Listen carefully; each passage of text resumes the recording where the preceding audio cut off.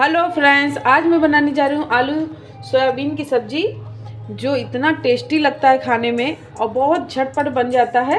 तो मैं इसकी रेसिपी ले आई हूँ। ये देखिए, इतना हम सोयाबीन भिगाए हैं। एक कटोरी है भरकर। तो इसको अभी हम साइड रखते हैं। ये अच्छी तरह से फूल चुका है, इस तरह से।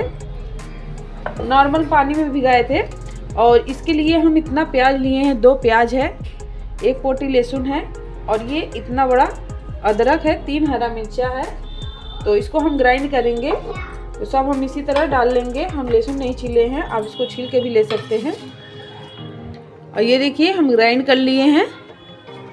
देखिए, दो तीन पानी से अच्छी तरह सोयाबीन धुल लिए हैं। और इसको खूब अच्छी तरह से निचोड़ निचोड़ कर हम रख लेंगे।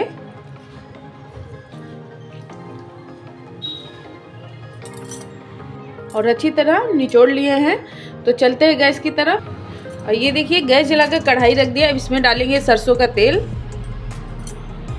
तो हम सरसों के तेल में बनाएँगे फिर। आप कोई भी तेल यूज़ कर सकते हैं, जिसमें आप बनाना चाहें। तो अब हम सोयाबीन को डाल देंगे।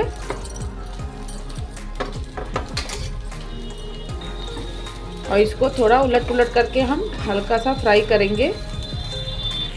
और उलटते पुलटते थोड़ा फ्राई हो चुका है तो अब हम निकाल लेंगे। अब उसी कढ़ाई में हम सरसों का तेल डाल रहे हैं। और इसमें डालेंगे थोड़ा खड़े मसाले। तो जीरा है, छोटी इलायची है, एक बढ़िया इलायची है और ये है तेज पत्ता। तो सारी मसालों को हम डाल देंगे। बहुत अच्छी खुशबू आती है इससे। अब इसमें हम दो प्याज कटा हुआ डाल रहे हैं, इस तरह से।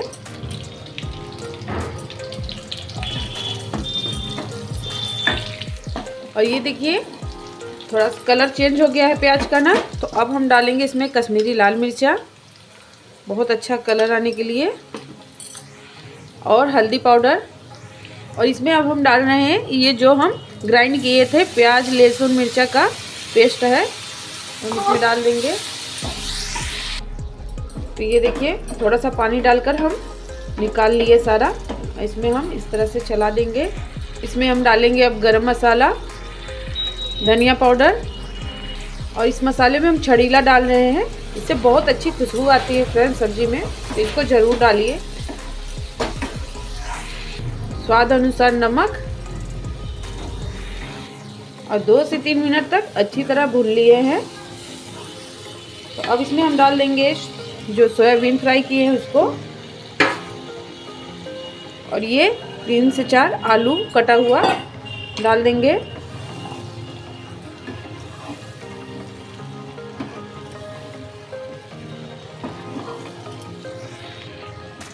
अब इसमें हम डालेंगे एक गिलास पानी।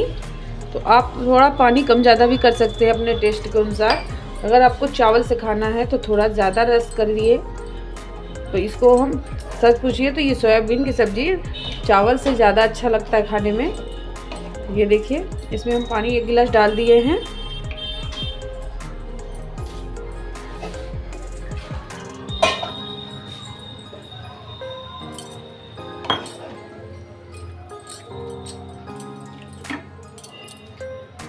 थोड़ा सा पानी और डाल रहे हैं, बस। अब इसको हम लिट लगा देते हैं और अच्छी तरह से पकने देंगे। और ये देखिए, एक एक दो बार हम खोलकर चलाए थे तो कितना मस्त सब्ज़ी बना है सोयाबीन की। और इसमें हम डालेंगे अब धनिया पत्ती।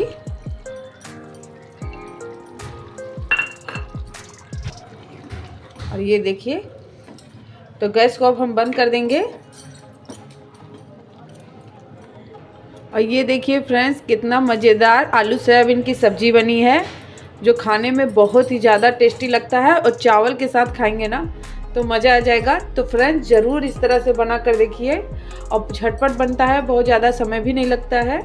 तो अगर फ्रेंड्स, मेरी रेसिपी आपको थोड़ा सा भी अच्छा लगा है, पसंद आता है तो प्लीज़ लाइक कीजिएगा, शेयर कीजिएगा, सब्सक्राइब कीजिएगा। मिलते हैं किसी और वीडियो में। किसी और रेसिपी के साथ।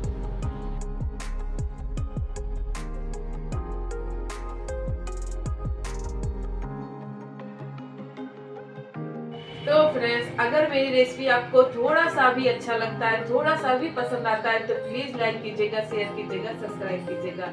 मिलते हैं किसी और वीडियो में, किसी और रेसिपी के साथ।